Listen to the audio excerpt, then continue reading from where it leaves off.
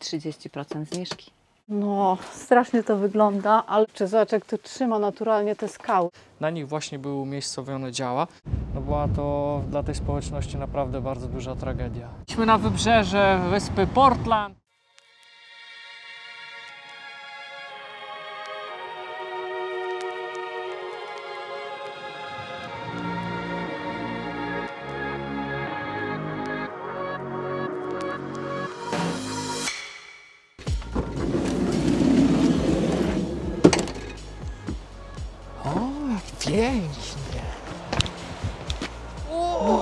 Super pogoda. Superancka, nie? Piąteczka. Hejka! Cześć, witajcie w nowym vlogu. Piękna pogoda, niestety troszeczkę wiecznie. Ale bardzo ciepły wiatr, no w listopadzie 16 stopni to jest, To jest ewenement, powiem szczerze. To jest super, więc nie narzekamy.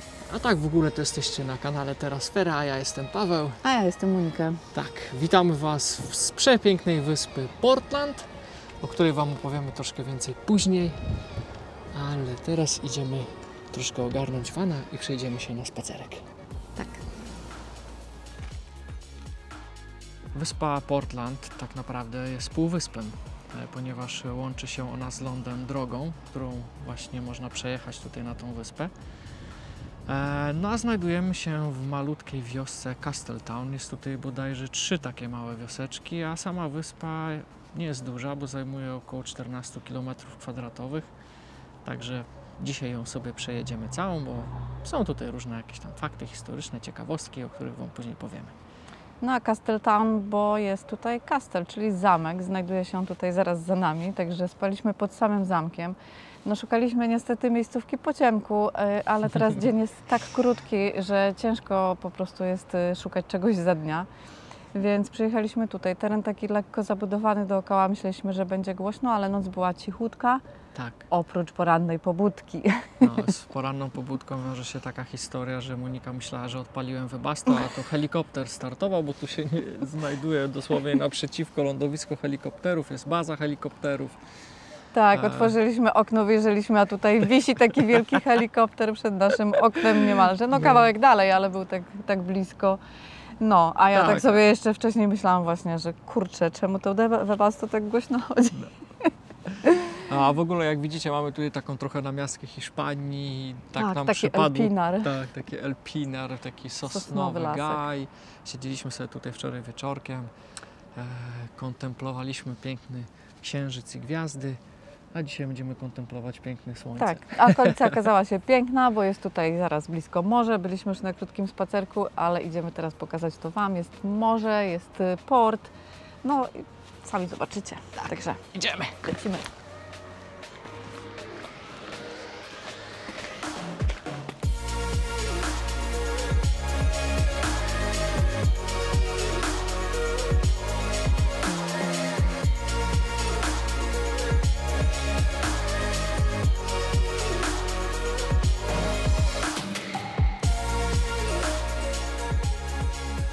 No właśnie tutaj, praktycznie dwie minuty od naszego kampera jest to lądowisko dla helikopterów, no i stąd sobie on startował, także dobrze, że tylko jeden, że nie było tak bardzo taki ruch przez cały poranek, bo byśmy mieli wesoło. No, no tak przebudziliśmy się, poszliśmy znowu spać, także spoko. Ale dronem sobie nie polatamy, bo jest tutaj kategoryczny zakaz. W 1944 roku w maju stacjonowały tutaj wojska amerykańskie wraz z licznymi okrętami, z całym sprzętem. E, przygotowywali się do desantu na Normandię. E, I właśnie w tym okresie również miały miejsce tutaj największe naloty na tą wyspę. E, zniszczono 400 budynków, 40 w ogóle się nie nadawało do odbudowy. No i zginęło kilkadziesiąt osób, także no, biorąc pod uwagę jak to jest mała wyspa, jak mało tutaj ludzi mieszka, no była to dla tej społeczności naprawdę bardzo duża tragedia. Pospacerowaliśmy sobie trochę, rozprostowaliśmy nogi, Gnaty, jak to się mówi. gnaty rozprostowaliśmy, idziemy teraz do Wana, no i jedziemy zwiedzać dalej wyspę, także zostańcie z nami, Tak, będzie się działo. będzie się działo. Ale w sumie zanim dalej ruszymy, to musimy posprzątać, bo zostawiliśmy bałagan, bo się nie mogliśmy doczekać, jakie widoki nas czekają. Tak, prosto po śniadaniu pognaliśmy sobie nad morze. Tak, no i filmek o, trzeba załadować na niedzielę. No. Router. Aż gorący się zrobił, słuchajcie. Także będziecie mieli co oglądać w niedzielę. Dobra, ja muszę tu pozmywać. E, Włącz pompę. To co mam robić? Wycieraj. Już mam robotę. Później zobaczę, jak na tą górę dojechać sobie. Zresztą piszę Google Mapsa No ta wysypka jest tak mała, że no tam jedna droga tu jest taka główna i parę tam na krzyż w bok. Sorry. Denerwują mnie te duże kielichy. No jak można kupić taki kielich do wana? Słuchajcie, już on ma pół metra wysokości. Cały czas się przewraca tutaj. Mówię Monice, mamy takie ładne, małe.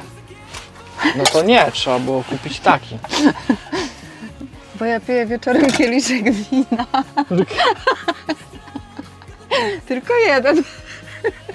Jeszcze te mamy takie, że ja tylko jeden kieliszek wina, to Monia tak niedługo będzie miała, wiecie, Wiadro. wiadro takie. Ja, ale ja tylko piję jeden kieliszek wina, nieważne, że tam wchodzi 10 butelek. Dobra, ty gadasz i nic nie wycierasz. No właśnie. To już umyte? Wycieraj, wycieraj. No wycieraj, wycieraj. No wycieram, no przecież widzisz. Dobra, to już się film załadował. No to zbieramy się i idziemy.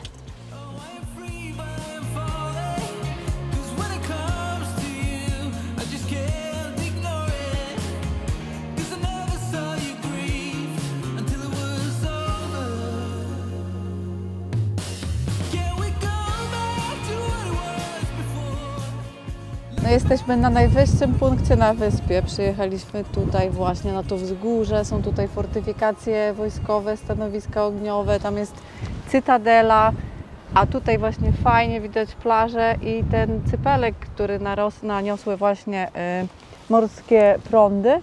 Tak, tu jest właśnie taki wyspę. wał. On ma kilkanaście kilometrów długości. Oddziela tutaj to morze od tutaj tej strefy lądowej, a tutaj o to właśnie takie to jest uliczka, do, którą można dojechać na wyspę. Jedyna droga. No, fajna jest ta plaża też, która ma wodę z obydwu stron. No, fajne miejsce. Super. W ogóle jaki widok stąd.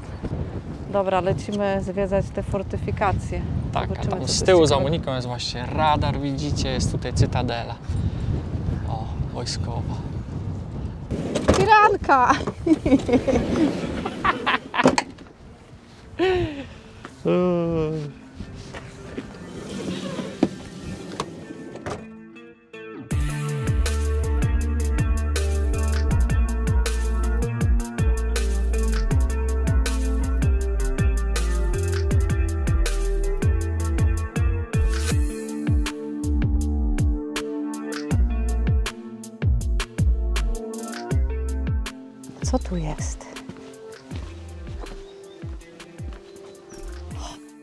Poszukując stanowisk działu z II wojny światowej tutaj na tej górce, znaleźliśmy kopalnię. Tak, jest tam szyb, ale ja tam chyba nie wejdę.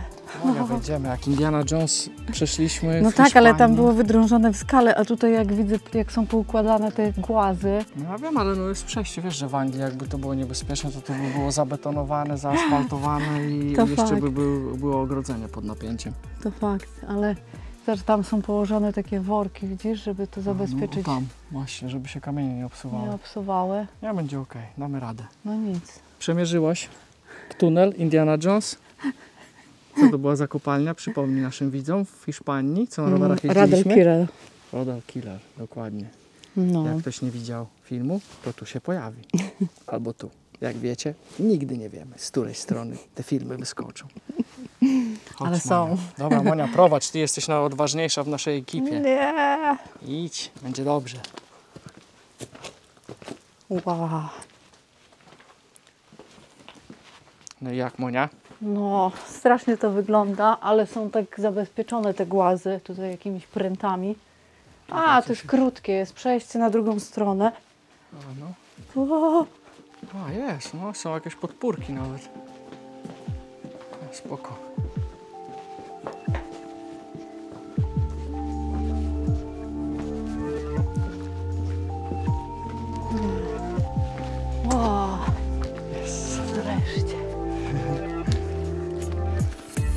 To zabezpieczane. W ogóle to jesteśmy w kopalni Barrow. Mieliśmy Wam o tym powiedzieć później, no ale jak już tutaj jesteśmy. Portland słynie z kamieni wapiennych. Jest tutaj jedna z największych cementowni w Anglii.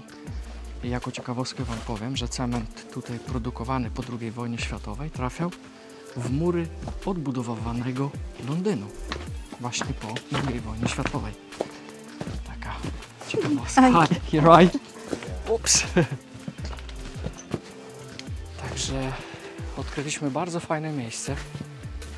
E, z góry wygląda to jakby to było płaskie, ale jak się wchodzi na dół, cała ta tutaj dolinka, można powiedzieć, pocięta jest wąwozami, Taki labirynt, labiryntem takim dokładnie.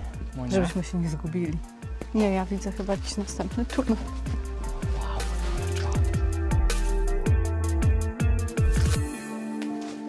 Kurczę, zobacz jak tu trzyma naturalnie te skały. To są korzenie z drzewa. Po prostu oplatają to wszystko i trzymają te głazy do kupy. Pięknie. Pięknie to wygląda.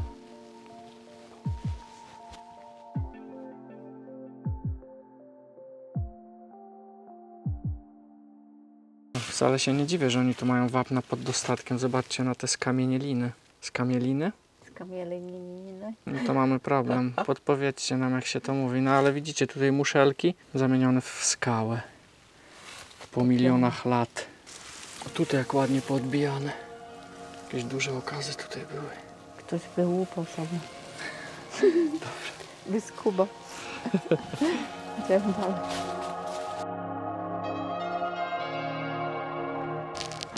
Wąwóz nas tak wyprowadził, że nie mieliśmy jak odbić na górę, musieliśmy iść do samego końca i wyszliśmy naprzeciwko tej cytadeli, którą Wam wcześniej pokazywałem.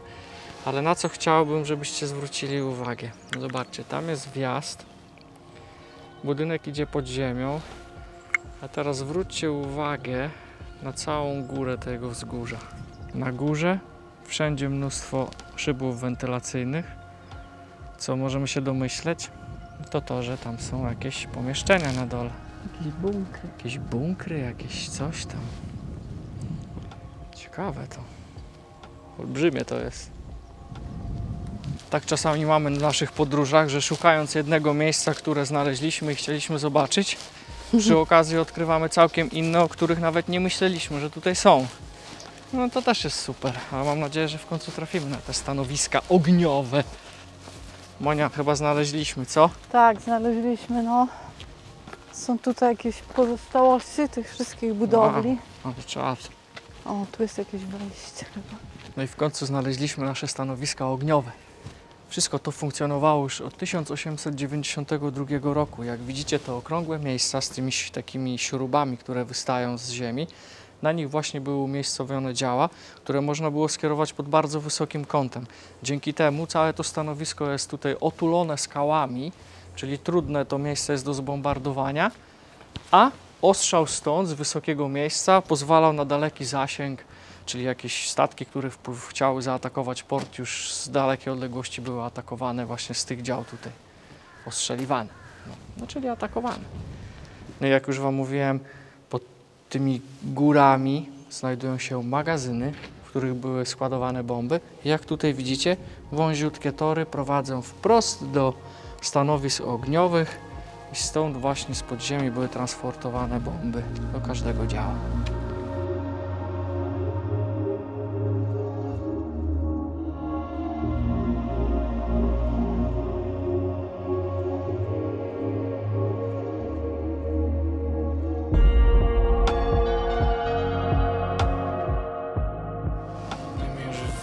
Trochę nas wywiało.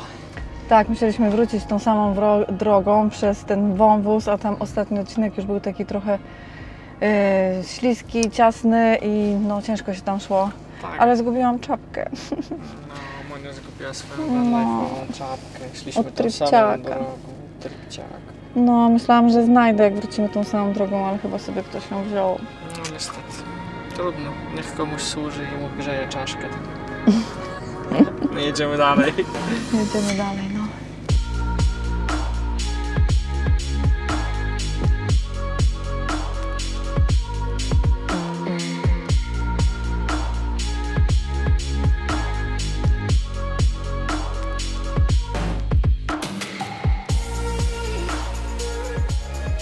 Po tych wąwozach, po tych skałkach w końcu trafiliśmy na wybrzeże wyspy Portland, na której jego końcu jest piękna latarnia.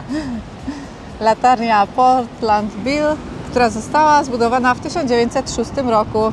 Wciąż tutaj stoi, jest teraz tutaj Muzeum Morskie, chyba w tej chwili jest zamknięte, także chyba nie uda nam się tam wejść. Tak, ale, Ale- scen- sceneria jest piękna. Tak, i są takie wzburzone fale.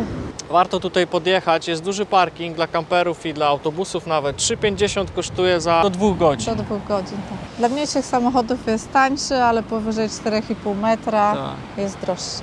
ale jest tu fajnie. Dobra, lecimy wybrzeżem.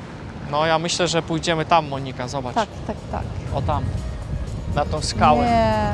Chodź, zobacz jaka tam bryza, będzie czas. Idziemy, chodź.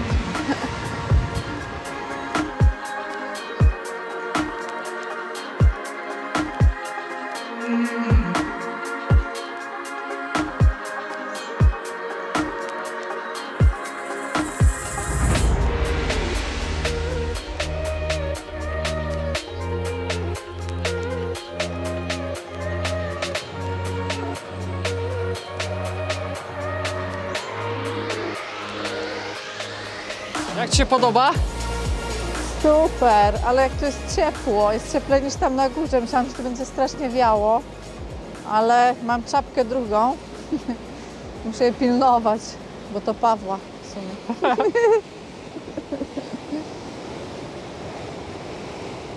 Zgłodniliśmy trochę. Wpadliśmy na przekąskę. Jak może, to musi być rybka. No Krab. mamy kanapki, tak, z krabem, ale pyszne. Mm. W takiej scenerii to nam naprawdę dobrze smakuje. I chipsik do tego.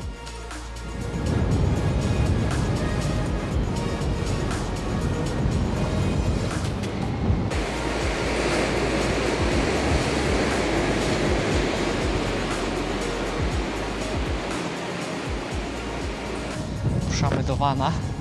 Miejsce nas totalnie zauroczyło. Tak, mieliśmy taki super zachód słońca. No i co, pewnie miejscówki zaraz będziemy znowu szukać po ciemku, bo już się No. ściemnia. Tutaj niestety nie możemy zostać, bo są tu jakieś restrykcje, że nie można Tak, zostawać na noc, także- więc musimy sobie czegoś poszukać. A tam już stoi nasz ciapek.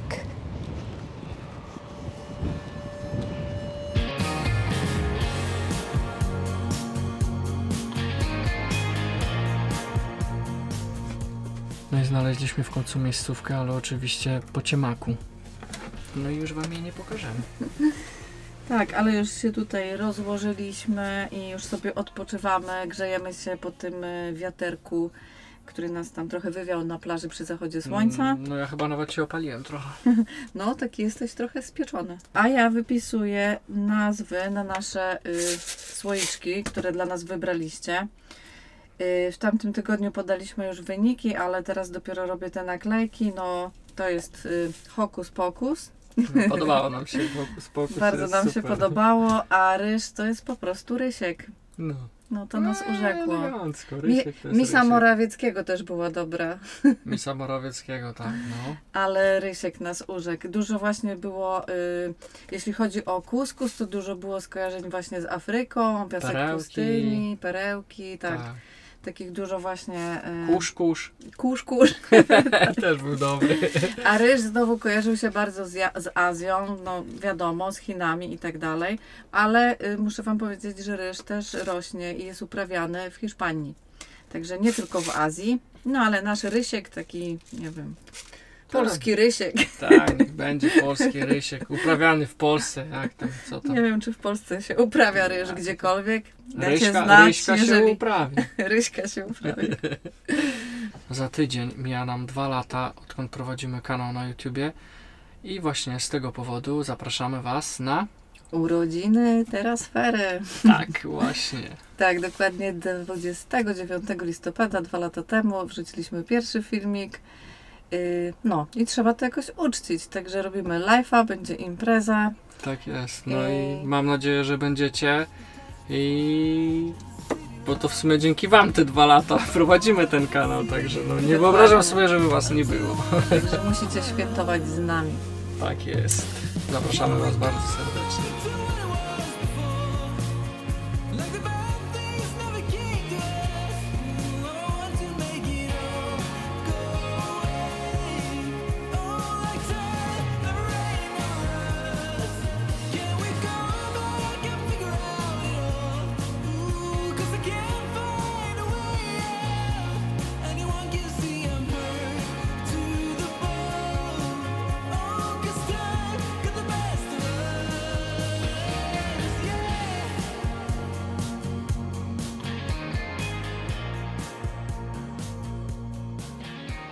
Zima się zbliża szybkimi krokami, no i potrzebujemy coraz więcej prądu, nie tylko w naszych domach, ale i również w naszych kamperach. Tak, choć pogoda nas jeszcze rozpieszcza i są dni piękne i słoneczne, to jednak są coraz krótsze, wieczory są coraz dłuższe, coraz więcej czasu właśnie spędzamy tutaj w kamperze, potrzeba nam więcej prądu, bo lubimy sobie na przykład wieczorem włączyć film, jakieś e, nastrojowe światełka, e, więc bardzo do tego przydaje nam się nasz powerbank Jakery.